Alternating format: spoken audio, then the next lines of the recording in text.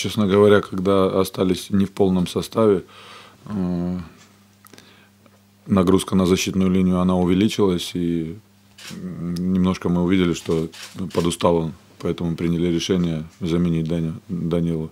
А выпустили Копленко для того, чтобы в опорной зоне у нас был игрок, э, которого, в принципе, удалили. Поэтому мы пошли на эту замену, чтобы э, структурно сохранить то, что мы хотели. Вообще, э, хочу сказать, что очень непросто, очень непросто, начиная с первого тура, когда команда, а именно с первого тура команда находится в подвале турнирной таблицы и борется за выживание по сей день. Э, психологическое давление на команду, оно колоссальное, оно, оно очень высокое. Цена каждого очка, цена каждой победы, она высока. И э, чувство ответственности игроков – где-то, возможно, не позволяют раскрепощенно действовать на футбольном поле, э, именно так, как мы действовали уже после пропущенного гола, потому что пропустили гол, уже, как говорится, терять нечего, надо двигаться, нужно э, рисковать, начинаем рисковать, у нас получается. А вот на начальном этапе, на, э, по, по, по ходу игры, в начале игры, давление чувствуется, это очень сложно. Честно говоря, на своей практике я и как футболист, и как тренер. Я не помню, чтобы такие ситуации были. Э, бывает, там команда начинает наверху, ну, по ходу сезона она падает вниз и э, ведет борьбу за выживание. А, либо наоборот, начинает борьбу за выживание вначале, потом поднимается и, в принципе, Э, каким-то образом балансирует между зоной вылета и не вылета. В нашей ситуации все усложняется тем, что колоссальное давление, колоссальная ответственность, у нас очень хороший коллектив, и каждый понимает цену э, каждого, каждой игры, и находиться с первого тура э, Сейчас мы не в зоне вылета, сейчас мы находимся на безопасном месте, но мы продолжаем вести борьбу за выживание, так как все не так просто в таблице. Поэтому мы, хочу сказать, чтобы все понимали, мы двигаемся, мы прикладываем все усилия, чтобы там с трибун не кричали, э, что-то нравится, что-то не нравится. Это футбол, и не всегда все можно, как э, в таблице умножения, да, дважды два, четыре. Не всегда все так. Поэтому работаем, двигаемся дальше и прикладываем все усилия.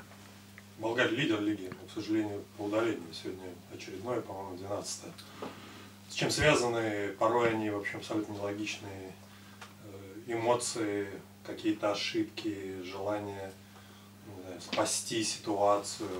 И что вы потом говорите, если это не тайна, футболист не разбирает эти эпизоды? Я думаю, в совокупности все. И настрой, и желание, и э, ситуации, которые возникают.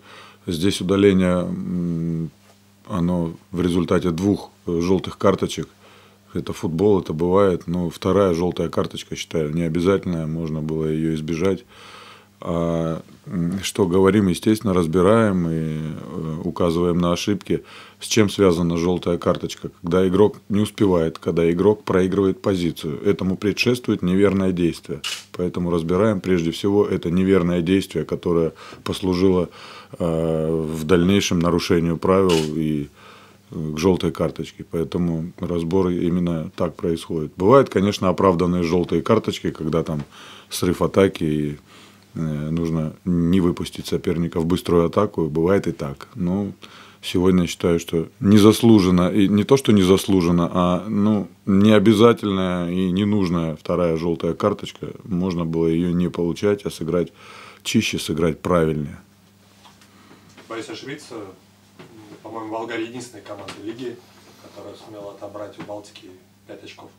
И для вас э, матч в Калининграде первого круга был первым в качестве руководителя команды, по факту главного тренера. Что изменилось в Балтике, если это уместно комментировать, стоя с того времени, и как изменился Волгарь? Балтика очень хорошая команда, и она укомплектована футболистами, которые многие прошли, многие прошли премьер-лигу. Поэтому любой команде, которая с ней играет, ну, как минимум, непросто. Показатель э, кубковой игры с «Динамо», когда играли две команды, одна ФНЛ, одна премьер-лига, другая премьер-лиги, и, по сути, приблизительно равная игра была. Что касается, что мы забрали у них э, набрали от этой команды 4 очка, то мне приятно. Еще приятный тот факт, что эта команда за 35 туров, э, насколько меня не изменяет память, впервые пропустила со стандарта. Это одна из немногих команд, которая очень надежно действует в обороне при стандартных положениях, при угловых. И нам сегодня это удалось сделать. Это тоже приятный факт. А так, что изменилось структурно, ничего не поменялось. Команда играла в ту же схему э, и в первом круге. Э, единственное, появились э, некоторые персонали и другие футболисты. Э, и вариативность действий у тренерского штаба, она только выросла. Что касается нас, то ну, вы каждый день на нас смотрите, вы знаете, что у нас и как, поэтому мы играем от себя, мы стараемся выполнить ту задачу, которую перед собой поставили мы все вместе. Болгария хорошо играет на выезде и сложно дома. Ну, понятно, по каким причинам ответственность, нужно играть первым номером, и сильные соперники. Впереди два домашних матча, чего пожелаете себе, болельщикам и, ну, не знаю, футболистам? Впереди два домашних матча и один выездной, поэтому для нас самая важная игра это следующая, это в Воронеже. И все наши мысли, они направлены именно на эту выездную игру. Поэтому двигаемся дальше, и нам бы очень хотелось набрать максимальное количество очков, ну, как минимум набрать то количество очков, которые бы, которых, которых бы хватило для того, чтобы э, остаться в ФНЛ. Тут не буду лукавить, говорю как есть последний личный вопрос, если можно. Э, впереди главный праздник нашей страны 9 мая. Я знаю, что у вас родственники защищали Родину героическим образом. Сможете ли вы пойти на бессмертный полк или график вам вряд ли поможет? Что для вас этот праздник? 7 мая мы играем в Воронеже, 8 и 9 мы будем здесь. Я постараюсь приложить усилия и обязательно пойду и приму участие, потому что у меня оба дедушки, и они участники Великой Отечественной войны, а дедушка по отцовской стороне, Бабаян Андрей Александрович, он участник Сталинградской битвы. Поэтому мне очень приятно и почетно. Конечно же, я пойду. Андрей Александрович, сегодня редкий случай, когда Болгария существенно э, победил соперника по владению мячом. Э, связано ли это с удалением, или же это вы решили так э, удивить Игнашевича, сыграв немножко нетипичный футбол? Еще раз, мы э, по владению мячом, мячом превзошли. Ну, дело в том, что вы же видели, как развивался матч. Мы получили преимущество в первом тайме. Естественно, когда, когда, когда команда играет в меньшинстве, она старается играть от обороны и э, э, выходить в быструю атаку. На тот момент мы получили преимущество, и мы э, достаточно долго и много контролировали мяч, и это продолжилось и в первом тайме. Э, в силу этого у нас нам удалось перевернуть игру, удалось забить два мяча, 2-1 повели, а потом, когда мы уже были в равных составах, я считаю, что владение мячом ну, оно где-то примерно было, наверное, одинаковое. Но в силу того, что мы в первом тайме владели э, мячом больше, наверное, усредненный показатель, он был именно такой, что 58 на 42. Артем Симонян, э, как обычно, сегодня выполнил колоссальный объем работы, но что бросилось в глаза, он очень часто за центральную линию и к центральной линии опускался в поисках мяча. Это ваша установка или же просто Артем так настроен? Ну, а с другой стороны, а где ему еще действовать? Он атакующий центральный полузащитник, и он действует, если вы, мы говорим о приеме мяча в центральном круге на нашей половине поля или на половине поля соперника. Это именно та позиция, где э, идет развитие атаки и переходит в завершающую фазу. Эпизодически он оказывается там в силу того, что достаточно плотно с ним играют соперники, изучая нас и видя ключевого футболиста. Поэтому он э, оттягивается немножко ниже для приема мяча. Спасибо. Спасибо.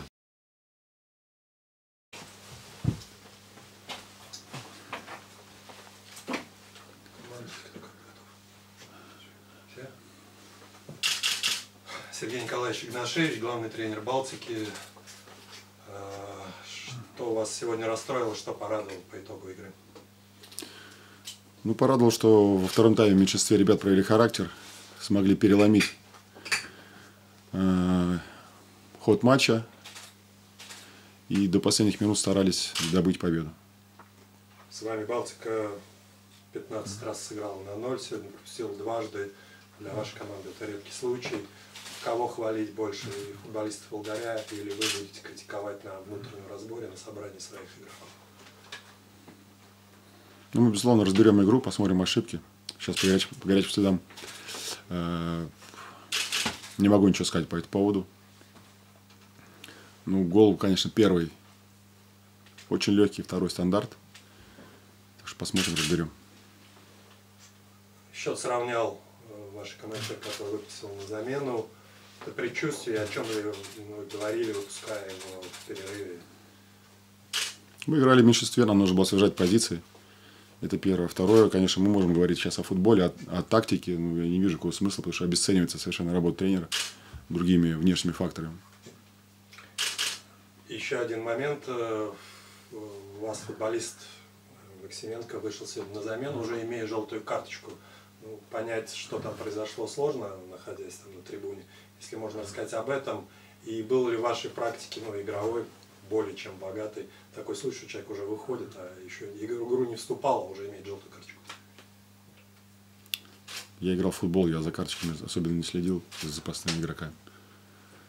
Ну, За разговоры с, с арбитром получил желтый. Балтика борется за место в стыках. Знали ли вы, два конкурента вашего к моменту начала матча в Астрахани уже сыграли? Это Енисей и Хабаровск. Знали ли результат? Да, конечно, знали. Знали, что Енисей потерял очки. Видели, что Хабаровск выиграл игру домашнюю, плюс три домашних матча у них впереди. Календарь так, достаточно простой, на первый взгляд. Но мы в первую очередь смотрим вперед на свой календарь. У нас три матча, два домашних и один в Домодедово. Это постараюсь взять 9 очков в этих играх. Сергей Николаевич, а ваши два форварда в стартовом составе, Мусаев и Барсов, такое ощущение, что вышли больше не нацелены на ворота, а нацелены на снабжение партнеров моментами. Э, Это ваша установка была? Ну или вообще согласны ли вы с такой формулировкой? У Мусаева было сегодня много голевых моментов. Он не только хорошо э, участвовал в комбинационной игре, но и сам имел два ну, железных момента в первом и втором тайме. Спасибо. Есть еще вопросы, Сергей Николаевич? Спасибо.